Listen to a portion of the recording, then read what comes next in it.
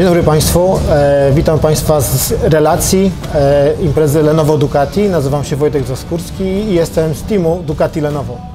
Ten event jest osobiście dla mnie spełnieniem moich dziecięcych marzeń, e, dlatego że kiedyś e, widziałem i mój tata propagował taką kulturę oglądania superbajka, gdzie Ducati cały czas wygrywało, wygrywało, wygrywało i wiedziałem, że marzę o tym, żeby usiąść kiedyś i mieć motocykl Ducati. A inną rzeczą jest to, że zobaczyłem ThinkPad w 1993 roku, który poleciał w kosmos i też od razu wiedziałem, że chcę taki komputer mieć i nie sądziłem, nie wiedziałem, że te marzenia się spełnią i że będą spełnione tak w jednym momencie, naraz, na evencie. Łączymy ThinkPada, Lenovo, Ducati. Skąd się bierze współpraca Lenovo i Ducati? Otóż okazuje się, że firmy mają wiele ze sobą wspólnego. Nieustannie e, szukają innowacji, inspiracji, które potem widzimy w domu, na ulicy czy na torze wyścigowym. Na tym evencie oprócz e, oczywiście motocykli Ducati mogliśmy zapoznać się z komputerami e, Lenovo, e, z ultra lekkim e, Nano, X1 Nano, czy z rewelacyjnym, super innowacyjnym Foldem, który jest pierwszym na świecie składanym komputerem.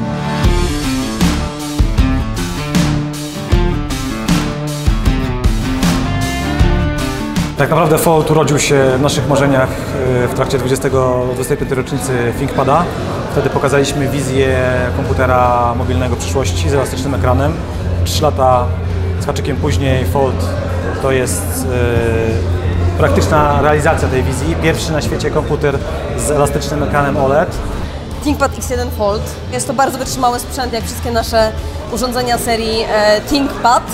E, I oczywiście to, co jest unikatowe i innowacyjne, to jest pierwszy na świecie komputer ze składanym ekranem.